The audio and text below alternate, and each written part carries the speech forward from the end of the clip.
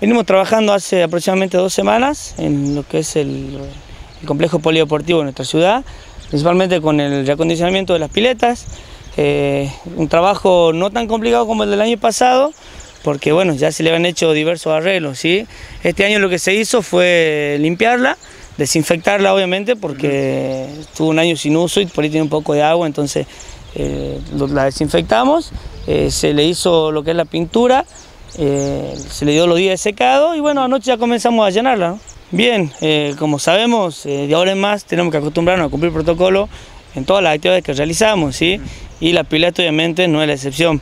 la verdad que un protocolo bastante estricto, en realidad pensamos que no íbamos a poder utilizarlas, pero bueno, gracias a Dios por la situación en la que tenemos, podemos brindarle este servicio a la gente, así que como medidas generales, la pileta no va a poder trabajar a un 100%, ¿sí? va a trabajar un 40% de su capacidad.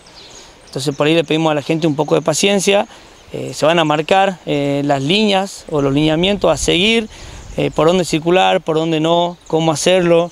¿sí? dentro del predio de la pileta no se va a poder ingerir ni bebida ni comidas, eso va a ser una regla general y la utilización del barbijo en la zona adyacente al balneario va a ser 100% obligatoria. Una vez que ingresamos a la pileta, si no lo podemos sacar. Eh, ¿Qué día tienen pensado habilitarlas oficialmente? Eh, bueno, si el clima nos deja, eh, estamos medio complicados estos días, pero bueno, nosotros ya pusimos, nos pusimos en marcha, la estamos llenando y bien nos permitan, quizá el domingo o más tarde el lunes queremos ya dar la inauguración.